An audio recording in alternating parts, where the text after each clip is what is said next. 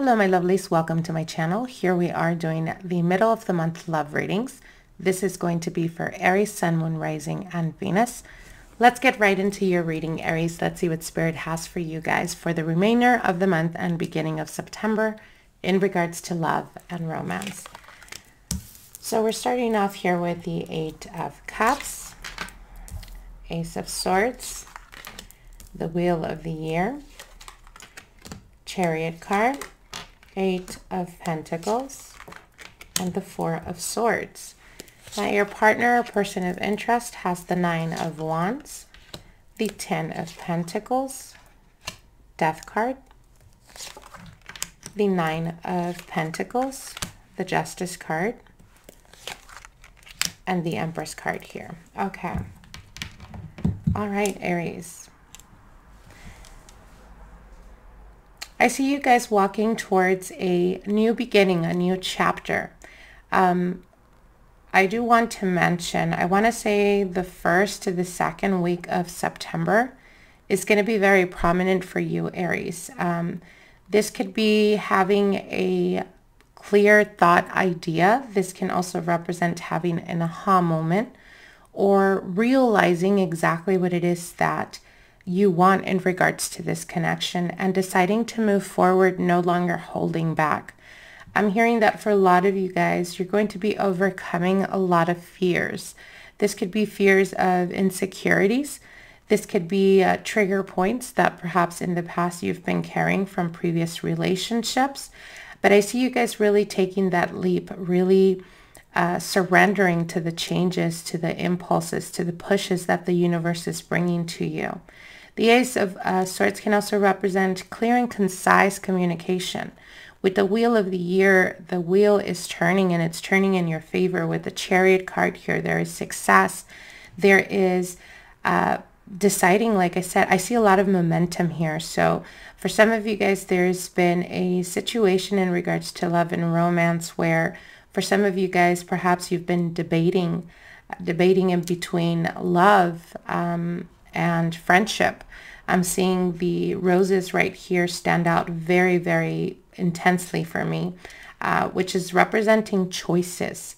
Um, and because of red, passion, desire, lust, and white is purity. It is um, uh, crystallized, transparent, genuine intentions.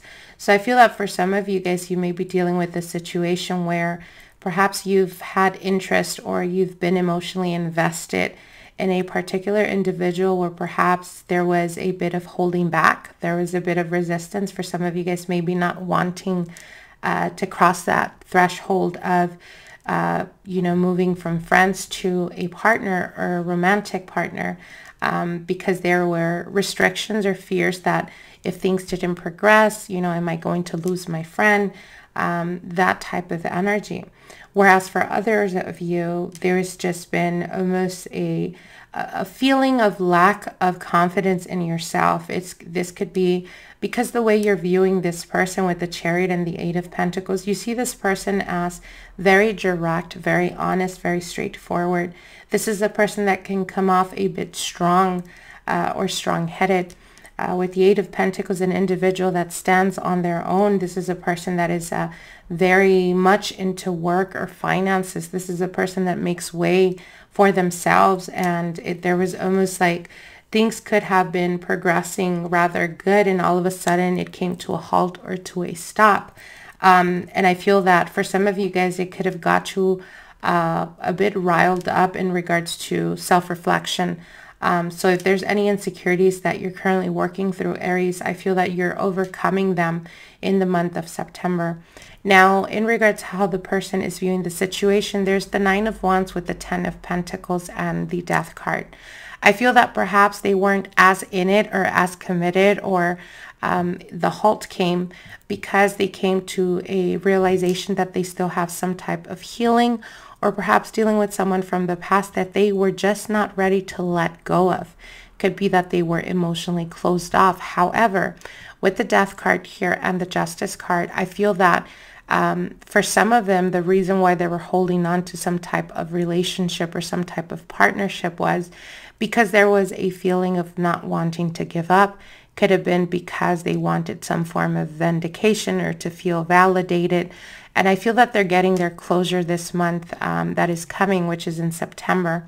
Um, there is an ending, a conclusion to something that they had been holding on to very tightly. Uh, with the Nine of Pentacles is fully embracing their singlehood or fully embracing this new beginning, this new chapter in their life with the justice card, you know, justice being restored or them being able to finally balance um, their life. For some of them, it could be that they are 100% committed to their career, to their finances. For others, it could just represent that they were just emotionally closed off and hadn't moved on uh, from a previous relationship. But I do see them being able to embrace a new beginning. With the Nine of Pentacles and Justice card, it does indicate, again, embracing their singlehood. Um, but this can also represent uh, them realizing that they're ready, that they are emotionally being open to love again. With the Empress card here, obviously this is the love energy. This is them knowing and understanding that, um, almost acknowledging that they deserve to be loved and that they deserve to be happy. Could be uh, for some of you guys dealing with the person that has lost a partner. Um, could have been a situation where there was some type of commitment and the person um, or their partner could have had an untimely death or they ascended. Um, and I don't feel like it's anything recent. It could be a person that just, it's taken them quite a while to be able to get through that mourning process. And I see them feeling more comfortable, more in their own skin and fully being ready to embrace new love. So again, um, what I would encourage you guys to do is uh, to definitely move forward, to not hold back based on insecurities, Aries. Um, whatever those insecurities may be, I feel that September is going to be almost a um, momentum of uh, taking it to the next level when it comes to your self-validation, um, accepting yourself or knowing um, that you're ready, that you're wanting some type of higher elevation of commitment and fully embracing this. So very beautiful energy, Aries. I hope that this gives you guys insight and understanding and we'll see each other soon. Till then, bye.